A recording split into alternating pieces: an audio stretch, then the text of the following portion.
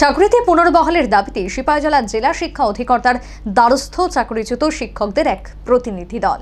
RTI নিয়ে কোনো ধরনের সদুত্তর দিতে পারেননি জেলা শিক্ষা আধিকারিক। অধিকর্তার সঙ্গে সাক্ষাৎ শেষে কথা বললেন এক চাকরিচ্যুত শিক্ষক। তন্ময়নাথ বনাম ত্রিপুরার সরকার। এই মামলায় যারা পক্ষভুক্ত নয়, তারা এই মামলায় ক্ষতিগ্রস্ত হবেন না। সম্প্রতি সুপ্রিম কোর্ট থেকে আরটিআই পেয়ে কথা জানালেন চাকুরিচ্যুতরা।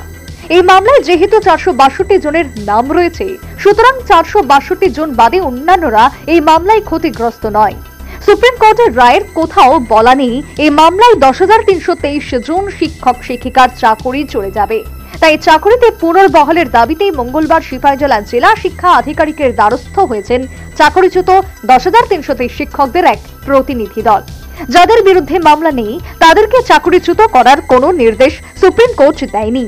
এর পাশাপাশি বিদ্যালয় শিক্ষা দপ্তর থেকে চাকরিচ্যুতদের বেতন বন্ধ করতে বা তাদেরকে যেন স্কুলে যেতে না দেওয়া হয়, এমন কোনো নির্দেশ জেলা শিক্ষা অধিকর্তা, বিদ্যালয় পরিদর্শক, কোনো প্রধান শিক্ষকদের বা ডিডিওদের পরামর্শ দেওয়া হয়নি। তাছাড়া বিদ্যালয় শিক্ষা দপ্তর থেকে কোনো স্কুলের প্রধান শিক্ষকদের নির্দেশ দেওয়া হয়নি, সুপ্রিম কোর্টের মামলায় চাকরি চলে গেছে। কোনো শিক্ষকদের বিরুদ্ধে এই ধরনের অভিযোগ নেই। সরকারি কোনো নির্দেশিকা দেওয়া হয়নি। সিপাহীজলা জেলা শিক্ষা অধিকর্তা হাবুল লোধ এই বিষয়ে কোনো জবাব দিতে পারেননি। অধিকর্তার সঙ্গে ডেপুটেশন শেষে সাংবাদিকদের কথা জানিয়েছেন এক চাকরিচ্যুত শিক্ষক।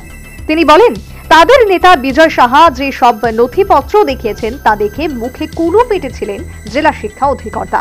এই বিষয়ে এক চাকরিচ্যুত শিক্ষক কি বলেছেন, শুনুন। চাকরি যায়নি, কিন্তু আমরা দেখেছি আমাদের জেলা শিক্ষা আধিকারিক এডক হওয়ার পর আমরা দু হাজার কুড়ি সালের মার্চের পরে একটি অনধিকার বহির্ভূত টার্মিনেশন আমাদেরকে দিয়েছেন। আমরা বিশ্বাস করি এই টার্মিনেশন কোনো অবস্থাতেই সমস্ত দশ হাজার তিনশো তেইশের জন্য নয়। এই জন্য আমরা ওনার কাছে জানতে চাই উনি কোন অধিকার মূলে এবং কার নির্দেশে এই টার্মিনেশন লেটার সমস্ত দশ হাজার তিনশো তেইশকে দিয়েছেন। এর জবাব উনি আজকে আমাদের সামনে দেবেন। আমাদের একটাই প্রশ্ন এবং ডিমান্ড, এই দাবি, এই যে টার্মিনেশন ইলিগেল টার্মিনেশন যেটা, এটাকে আজকে উনি যেভাবেই হোক প্রত্যাহার করতে হবে এবং আমরা যে বিদ্যালয় চলো অভিযান সংগঠিত করেছি, এই অভিযানকে যাতে উনি পূর্ণ মাত্রায় সহমত পোষণ করে বিদ্যালয়ে যাওয়ার জন্য আমাদেরকে সহায়তার হাত বাড়িয়ে দেন, কারণ আমরা দেখেছি উনি একটি অলিখিতভাবে হোয়াটসঅ্যাপ মেসেজের মঙ্গলবার ধলাই জেলা শিক্ষা আধিকারিকের সাথে সাক্ষাৎ করলেন ধলাই জেলার দশ হাজার তিনশো তেইশ চাকরিচ্যুত শিক্ষক শিক্ষিকাদের এক প্রতিনিধি দল। এদিন জেলা শিক্ষা আধিকারিক মিহির দেবনাথের সাথে সাক্ষাৎ করে একটি মেমোরেন্ডাম তুলে দেন তারা। প্রায় দেড় ঘণ্টা সময় ধরে চলে তাদের এই কথোপকথন। পরবর্তী সময়ে প্রতিনিধি দলের পক্ষে চাকরিচ্যুত এক শিক্ষক জানিয়েছেন, আরটিআই মোতাবেক সুপ্রিম কোর্ট থেকে যে তথ্য বেরিয়ে এসেছে তাতে স্পষ্টভাবে উল্লেখ করা রয়েছে যে তাদের চাকরি যায়নি। পরবর্তী সময় গোটা রাজ্য জুড়ে তারা বেশ কিছু কর্মসূচি গ্রহণ করেছে। আগামী ন তারিখ তারা পুনরায় স্কুলে যাবেন এবং তার আগে জেলা শিক্ষা আধিকারিককে প্রয়োজনীয় সিদ্ধান্ত গ্রহণ করার জন্য তারা আবেদন জানিয়েছেন।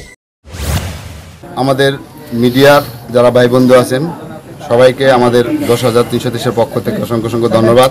আপনারা আমাদের সময়, আমাদের সঙ্গে দীর্ঘ সময় ভিতরে ছিলেন। তো আজকে আমরা বেসিক্যালি একটা পূর্ব পরিকল্পিত অনুযায়ী বা পূর্ব ঘোষণা অনুযায়ী আমাদের ডিও অফিসে আসার কথা ছিল পুরো দলাই ডিস্ট্রিক্টের যারা আমাদের দশ হাজার তিনশো তিরিশের শিক্ষক, শিক্ষিকারা আছে। আজকে আসার কথা ছিল, সেই অনুযায়ী আমরা ডিও সাহেব থেকে আগে সময় চেয়েছিলাম। তিনটার সময় আমরা এসছিও। তো মূল কথা হলো আজকে ডিও সাহেবের সঙ্গে আমাদের আরটিআই ভিত্তিক যে কিছু আমাদের প্রশ্ন ছিল, সেই প্রশ্নগুলো আমরা ডিও স্যারের সঙ্গে আমরা উপস্থাপন করেছি। যে প্রশ্নের একটা যতগুলি আমরা প্রশ্ন করেছি, একটা প্রশ্নের সদুত্তর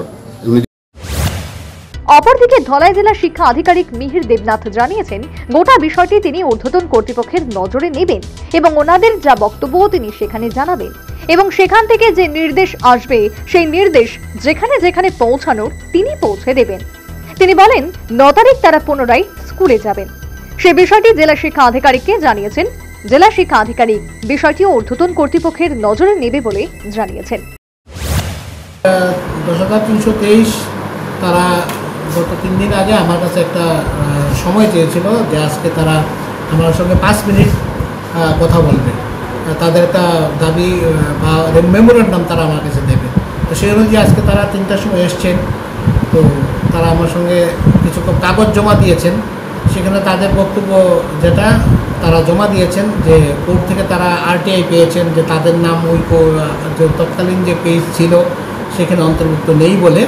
তো সেই কাগজ তারা আমার কাছে একটা দিয়েছেন, বলছেন যে এটা কোর্ট থেকে দিয়েছে, এটা তো আমি তাদেরকে বলেছি যে এটা আমি আমাদের ডাইরেক্টর অফিসে পাঠাবো। কারণ তাদের যে বক্তব্য, তাদের অনেক বক্তব্য রয়েছে যে তাদেরকে ইলিগালি টার্মিনেট করা হয়েছে তাদের পার্সোনাল নেমে কোনো টার্মিনেশন লেটার যায়নি। আমি বলছি, এগুলির ব্যাপারে আমার এখতিয়ার নেই কথা বলার।